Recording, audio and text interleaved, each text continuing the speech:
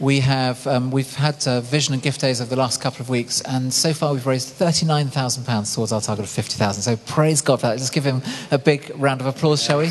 We're giving thanks um, to God, but also to you. Thank you very much indeed for those who have given, and um, just that means that we can just um, get moving with some of these things that we'd love to do in, in developing this space for our guests and um, for all that God wants to bring in. So, Ed, over to you. Brilliant. Thank you, Rick. Good morning, everybody. Welcome. Um, if you weren't here at the beginning of the service, then really warm welcome to St. Paul's today. And if you're new to the church, um, it'd be great to connect with you. Uh, and one way that you can get in touch and find out more about what's going on in the life of the church is by grabbing one of those blue Connect cards, which were in the, the back of the seats in front of you. And just pop your name and your details in on there and put them in the box at the back of church. And we'll be in touch to let you know more about the life of the church. And make sure you get along to the newcomers' evening, which is tomorrow. So that's uh, all of that. Now we're going to read uh, from Ephesians chapter 6. So if you'd like to turn to page 1111 in the, in the church Bibles or um, whatever it is, if you're looking it up on your own Bible or your Bible app, then I'll give you a moment to turn to that. But as we, as we just find our places in, in, uh, in Ephesians, um, we're starting a new series today. Uh, we're starting a new series called Nuclear Families, as, as Rick said. Uh, and uh, we really it connects really very much and very strongly with what we've been looking at with contagious um, Christianity and how we become a contagious Christian. Because what we'll find out is actually that our families and our family life is a huge part of the witness that we give to the world around us. And indeed, we are called by God to have families that model so much of what God is about that they are a witness to the world. So this is not kind of right, we've done how to share our faith with people around us, and now we're going to move on to the next thing. This is all really part of the same thing that God is doing amongst us, where He's calling us to bring our whole lives into His uh, into his sphere of, of, uh, uh, of sovereignty and uh, lordship so that we might be witnesses to those around us. So, nuclear families, let's read uh, Ephesians chapter 6 and verses 2 and 3. Honor your father and mother, which is the first commandment with a promise, so that it may go well with you and that you may enjoy long life on the earth. This is the word of the Lord. Amen. Honor your father and mother. I don't know if you would agree with this, but my sense is that we don't live in a culture which is very big on honor. We don't really have a, uh, a system of, of honor and shame. I mean, many people here will be from other cultures and other countries and would have grown up in a culture where there was much more of a strong emphasis on honor and its kind of opposite, I guess, of, of shame. Uh, and uh, so maybe that's the kind of the sense of the, the, the importance of honor and the way, the way that when it is lost and where shame is brought into a family or into a person's life, then a great bit of damage is done. We kind of don't have that same strong understanding. So when we read these words, we kind of think, what does honor mean? What is it all about? And, and so much so that, you know, you, you kind of think of, of, of, a famous celebrity who, uh, a footballer is able to kind of be exposed and be shamed because of their private life. But their, their excuse is, well, don't judge me on that. I'm a good footballer. I'm a, I, you shouldn't kind of be interested in my private life. It's all about the success, the success on the field or the success in business or whatever. We don't have an honor culture. We have a, a success culture. And if you're successful, then even if some kind of terrible, lurid thing is exposed about your private life, then you kind of say, well, don't judge me, and you move on. That's the kind of culture we live in. So, how are we to understand these verses that, that Paul gives us here in Ephesians, where honor is what is most paramount importance in our relationship with our parents, with our mother and father?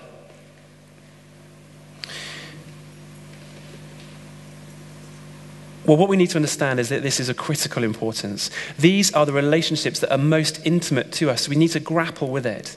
Indeed, over the next couple of weeks, over the next three or four weeks, we're going to be looking at each of those relationships within a family unit. So, uh, we're going to be looking at the rela- relationship between a husband and a wife in a marriage, uh, and we're going to be looking at the relationship of a, a father to a child and a mother to a child over the coming weeks.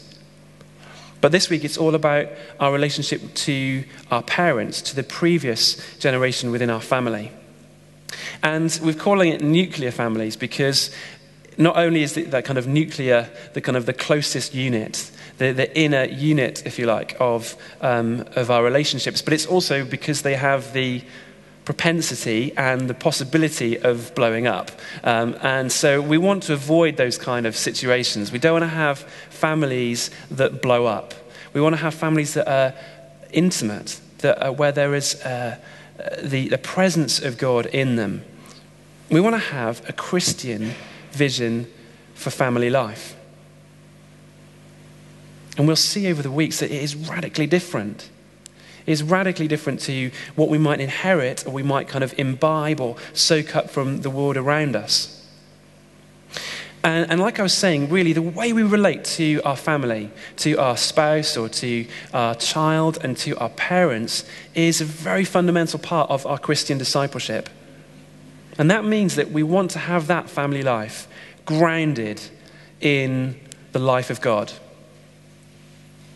not kind of compartmentalizing that part of, our, of who we are and, and thinking that our Christian discipleship is something just personal between us and God, but recognizing that our family life needs to be grounded in uh, the life of God.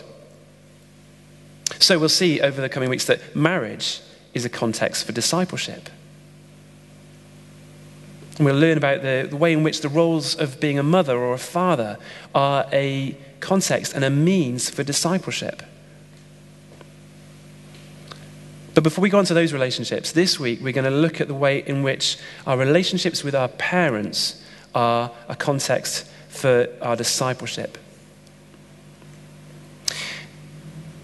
Not only is honor a problem for us in this Western uh, society and in the culture that we live in, we also look at particularly the role of older people in our society and in this country. And we'll realize that really we are up against something here if we want to honor them, if we really want to honor our parents. We are working again against the culture.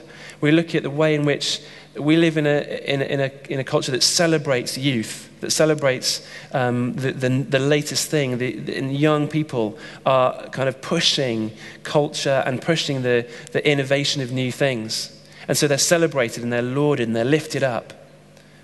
And as a corollary, old people, elderly people, are marginalized, are dismissed from the public realm.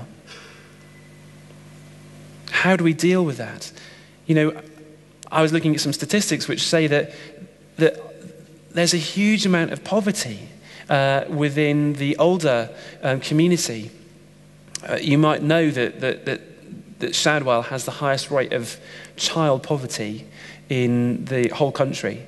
Somewhere around 60% of children live in, uh, in um, income deprived homes in the immediate neighbor, neighborhood to where we are right now. But did you know that also Shadwell is the place in the country which has the highest rate of elderly poverty so there are the most people, the, the most elderly people living in income deprived families and homes is in Shadwell as well. It's, uh, it's somewhere around 59% uh, of, of elderly people living in this area are in income deprived families. Over half, well over half. What are we doing as, as a community? What are we doing as people living here in terms of the way that we look after our parents. How are we listening to Scripture, which tells us to honor our parents, if those are the statistics? Now, the reality, of course, is that many of us, our parents, aren't living here. They're not actually in this neighborhood. They might be living some completely different part of the country, or quite likely for many of us, on the other side of the world. So, how do we take to heart these, these uh, verses, these words of Paul? That we should honor them when they're geographically so far away. So let's get into this and find out what Paul is saying and why he's saying it. So, Paul is, is picking up here one of the Ten Commandments. It's the first of the commandments to deal with our um, horizontal relationships. Having spent time in the first uh, half of the, of the Ten Commandments, uh, God is giving the way in which we are, the people of Israel, are called to relate to Him as God. And then this commandment honor your parents, honor your father and your mother. This is the first of these, of these horizontal relationships. As we bring our relationship with God into the right uh, way, then we'll find that our relationships with people around us also are affected, and we're called to bring those under the authority of God as well. And the way that we do that with our parents is by honoring them. And as Paul points out, this is the first of the commandments in the Ten Commandments, which has a promise connected with it, directly connected to it. Honor your father and, and mother, so that it may go well with you and that you may enjoy long life on the earth. So we're called to live out this commandment, this, this, this way of relating to our parents. And there's a very practical reason that, that, that we're given in the Ten Commandments and that Paul reiterates, which is that it'll go well with you. Uh, and kind of think, yeah, that, that kind of makes sense, actually. I think it, um, certainly if you're a child living with, with your parents, you kind of think, well, um, I kind of know where my food comes from and, and I know where my clothes come from. So, yeah, I can see it's going to go well with me if I actually kind of respect them, if I look up to them and I maybe occasionally say thank you uh, for giving me all this stuff. So there's a very practical reason. Honor your parents, honor your father and your mother, that it might go well with you. So you kind of think, yeah, that makes complete sense. But there's something kind of more there's something more subtle which, which, we, which we're to understand about the way in which our relationship with our parents impacts our life and the life of a community. And that seems to be that the Bible says that um, having a, an attitude of respect and honor and wanting to care for our parents is not actually intuitive. It doesn't come naturally to everybody. And therefore, it has to be stated. Indeed, God states it in the Ten Commandments because He wants the people of Israel to be different. He wants them to stand out amongst the nations that are around so that they uh, show a different way of living. So that as a community, they, they are organized differently, they're structured differently around the commandments of God, around the presence of God Himself and his presence permeating their community and their relationships, those nuclear relationships, most importantly, will be a witness to uh, the surrounding nations, to the surrounding people. And that call on the nation of Israel to be different is no less needed today, is no less uh, powerful a message to us, the church, the people of God, today in the 21st century. The call to honor our parents is no less needed because it is no less radical and challenging a thing to do. We want to be different. We want to display something, a different way of, of relating to, uh, to our parents because that will be challenging to the world around us. And indeed, we will be blessed. It will, it will go well with us in the, in the, and that we might enjoy long life on the earth. So, how does it work? How does it work at the different stages uh, of our lives? Well, the verse just before um, uh, where we started, so verse 1 of chapter 6 of Ephesians, really frames the way in which, when we're children, we should honor our parents. And verse 1 of chapter 6 tells us, Children, obey your parents in the Lord, for this is right. So when, when you're a child, the primary way of honoring uh, your mother or your father is by obeying them, is by obedience. And so, for us as, as parents, those of us who are parents in, in, in the room today, the, the kind of thing that we're trying to build into our children's life is a, an attitude of obedience and a kind of spirit of, of obedience, if you like. Not because we want them to be continually under our thumb, but because that is the best way for our children to grow in godliness. And that's why um, Paul uses this, this phrase obey your parents in the Lord. And throughout the, the, the, passages that, that, that, Paul is talking about, these practical relationships between a, um, a husband and a wife, or between a, a child and a parent, or between uh, um, a master and a slave, as he'll go on to as well, he's always using this phrase, in the Lord, of the Lord. And that's because we need to bring God into those, into those relationships. So, for those of us who are parents, we're looking to have cultivated in our children's hearts an obedience. That is the way in which they will demonstrate honor to you as a parent. And it needs to be seasoned and balanced with the way in which we love them, the way in which we serve them, which is so much a part of parenthood. But honoring for a child is first and foremost about obedience, about recognizing their authority over, the, over them, and that you have that role to play in their life. So, most of us aren't you know, young children anymore, but we are still the sons and daughters of parents. We still have parents. So, do we obey our parents throughout the rest of our lives? Or is there actually kind of a, a, subtle development and evolution, if you like, of the way in which we live out this call to honor? And, and, and it seems to me that really, as we become adults ourselves, and the Bible is very clear about the way in which, you know, uh, a child will grow up and they will leave. And if somebody is getting married, then that is, you know, all the more clear that you, will, you leave your parents and you leave the authority of, of them, in a sense, the, in your kind of relationship of, of obedience to them, and you come into a new married relationship, and this becomes a new family unit. So then your relationship with your parents is inevitably going to change. But anyway, apart from that, as we grow up and become adults and have a, a calling of our own to, to, to play our part and to take responsibility for our actions in the world, then our relationship with our parents changes again, and it's not a continual relationship of obedience in all things. And this might kind of, you know, we're touching on issues that we're, we're all kind of thinking, oh, how do I, how does it work in my family? How does it work for me? Um, because I'm glad Ed said that, because there's definitely some situations where I, where I kind of feel like there's a bit of a push coming from my parents to kind of to do it a certain way or to act a certain way or to be under their, their kind of command still. But I, I feel a tension with that. Well, I do feel that, that, that we're called to sort of to subtly uh, and gradually over time reorientate ourselves with our parents. But there must be an expression of honor that runs through your relationship with your mother and your father.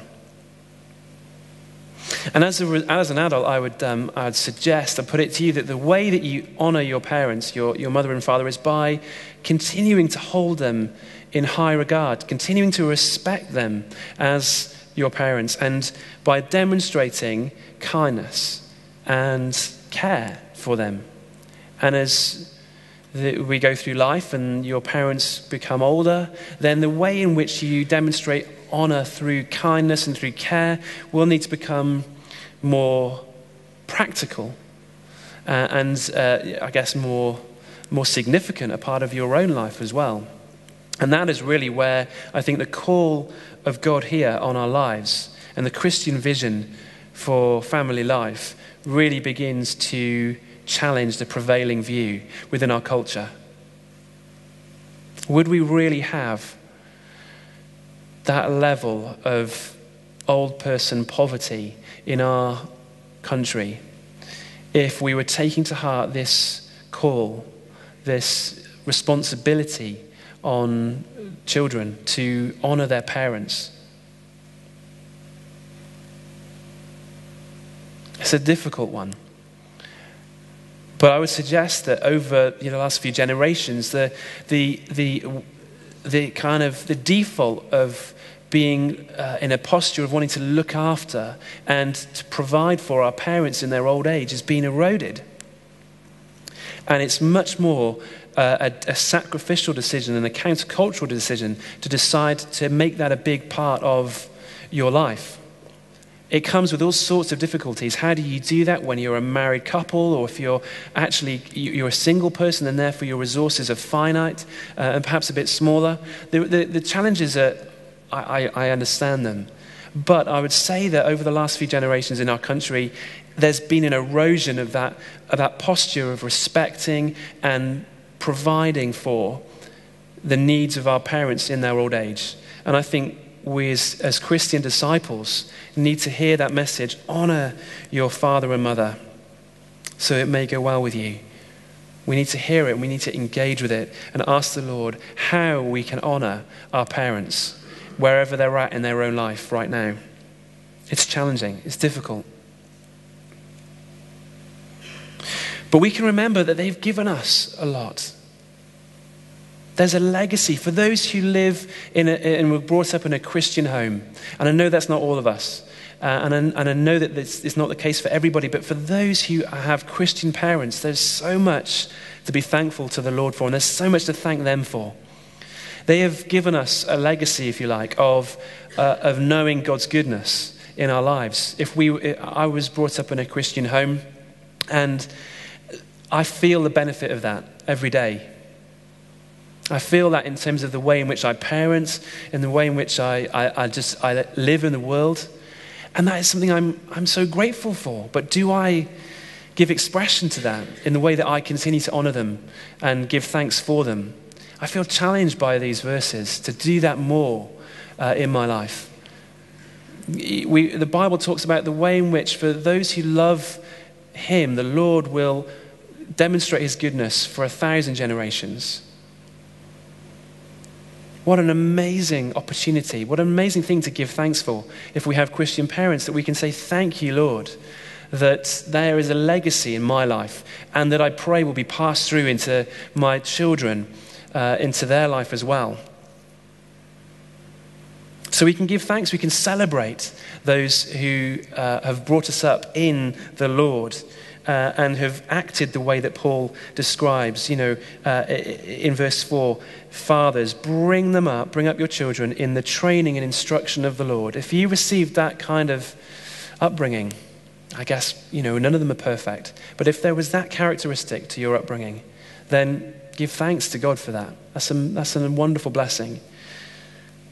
The truth is, though, that, that not all of us had that kind of upbringing. Not all of us come from Christian homes. Not all of us come from homes in which parents took to heart the calling of the Lord to disciple their children, to, to, to love them, to teach them, to obey them in the Lord, and to show them the, the, the grace of God in their relationship, in the way that they brought up their children.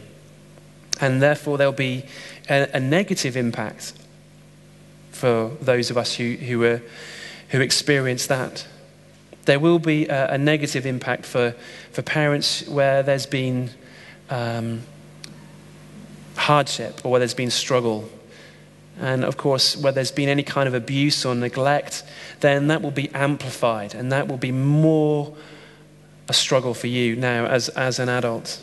How do you take these words seriously if, in fact, you do not have good, uh, a good legacy from the way that you were parented? How do you honor your father and mother? Well, this is really where I think the gospel becomes absolutely paramount. And this is why Paul only gets to these verses at near the very end of his letter to the church in Ephesus. He spent the best part of his letter explaining what the gospel is all about, explaining how radical it is, explaining how it gives you a whole new identity, and that you're now wrapped up in Christ, that you have, you have a totally new identity. And only as a result of understanding what Jesus has done for you in giving you that new identity, that you have become a follower of Jesus, and that everything that you were has changed. Only then does Paul get on to kind of applying that to your life. So then, the first four chapters are all about that. And then in verse in chapter 4 at the beginning he says therefore live up to the calling that you have received.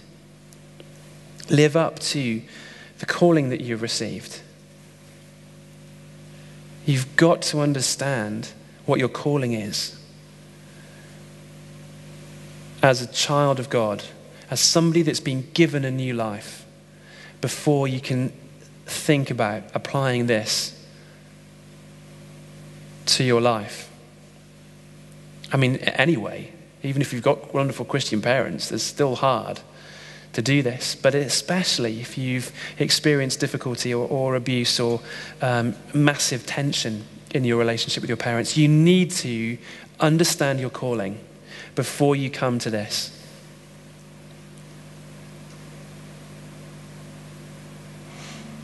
So you need to understand that you're a child of God.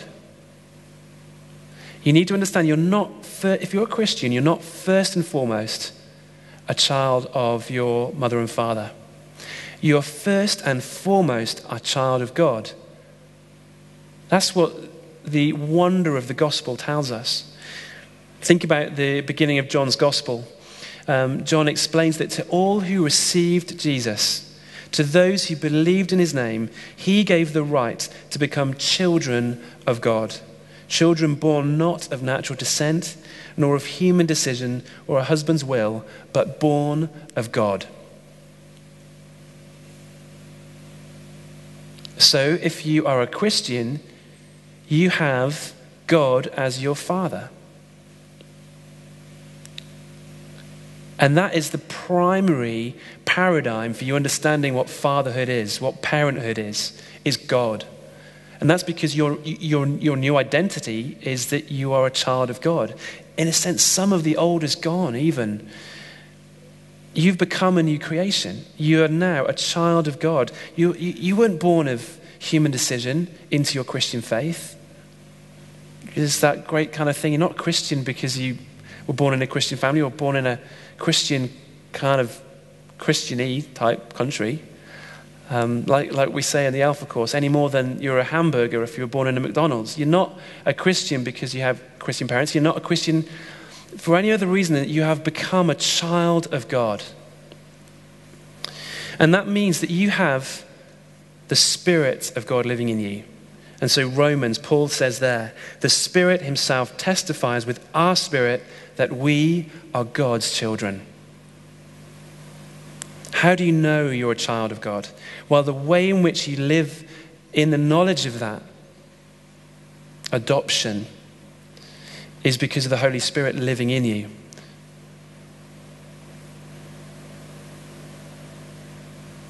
And it's that which helps us to understand that God is our Father and He's lavished His love upon us. You know, 1 John chapter 3 says, How great is the love that the Father has lavished on us that we should be called children of God. And that is what we are.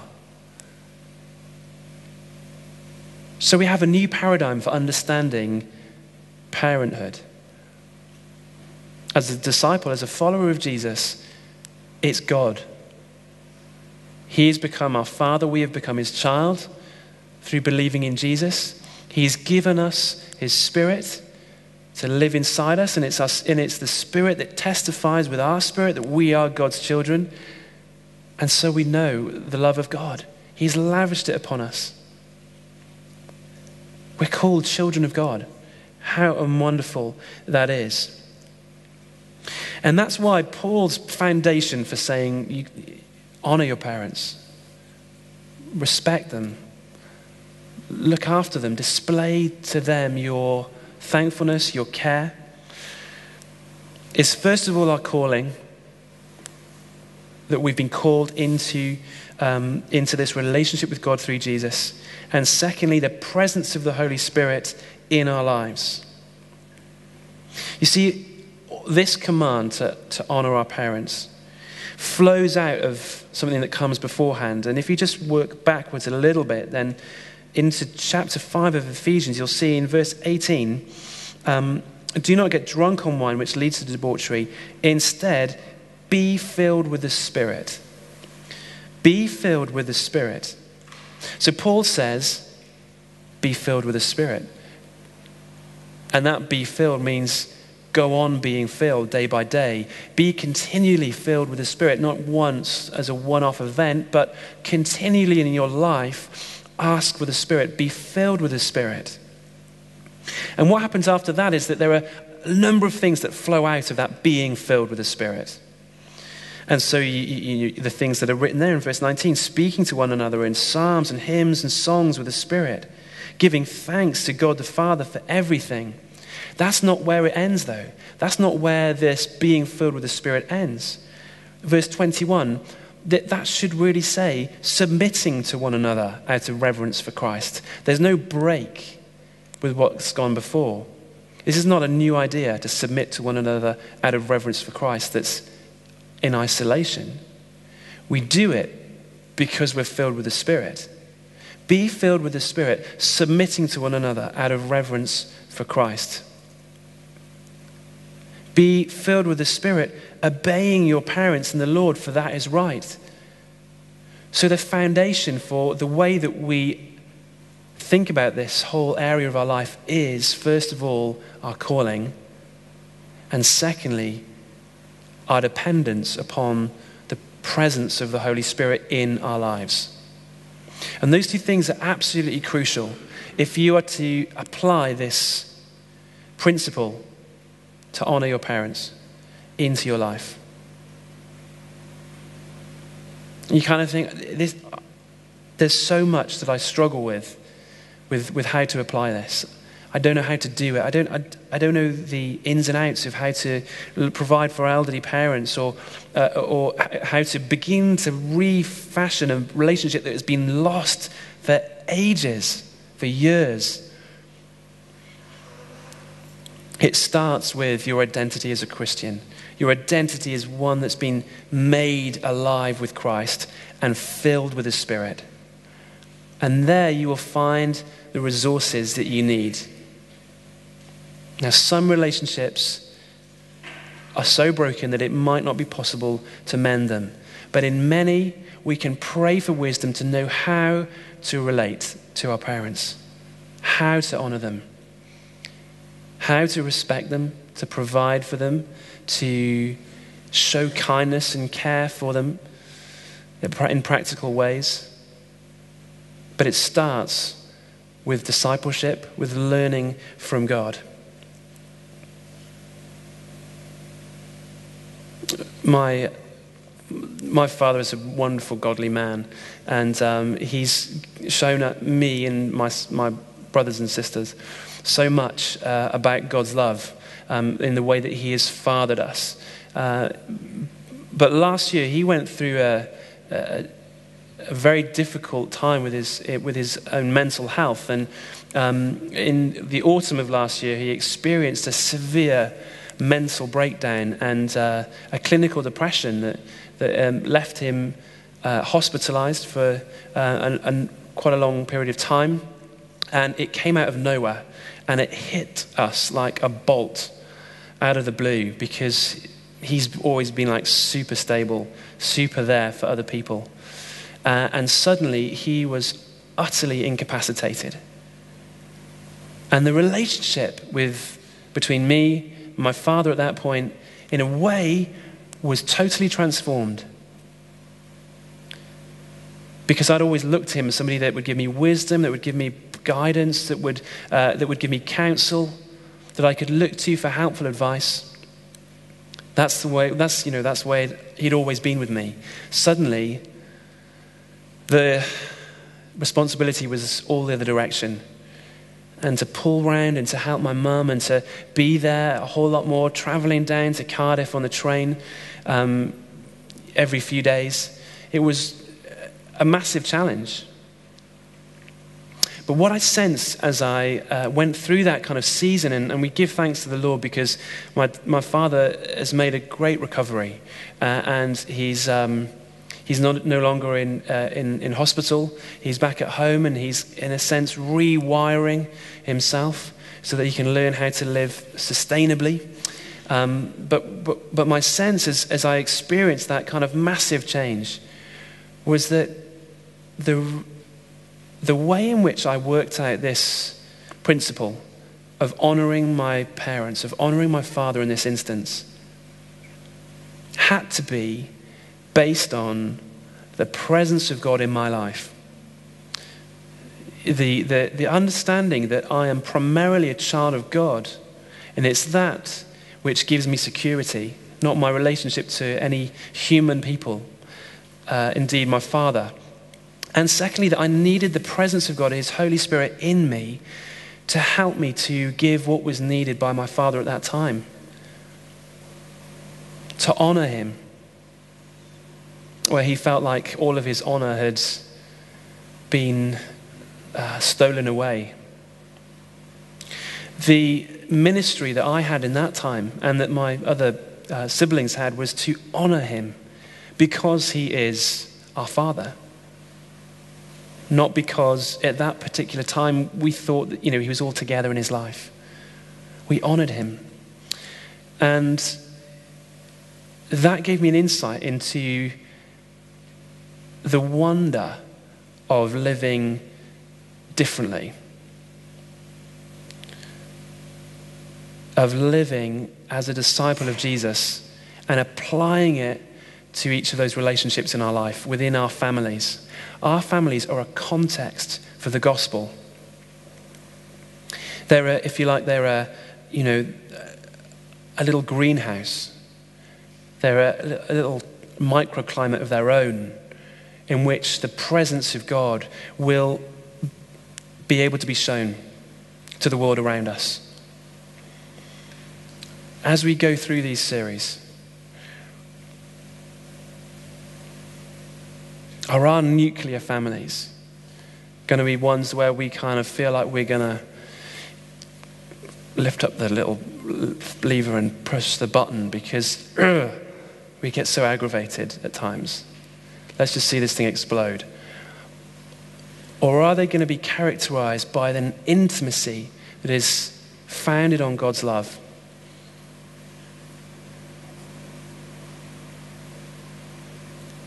That is characterized by knowing that we're a child of God and that we are continually asking for the infilling of the Holy Spirit.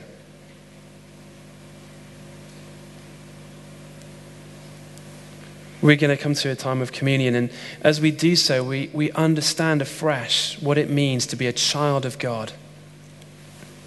What it, what it means to have the spirit of sonship within us, testifying that we are God's children because we see the love that the Father has lavished upon us.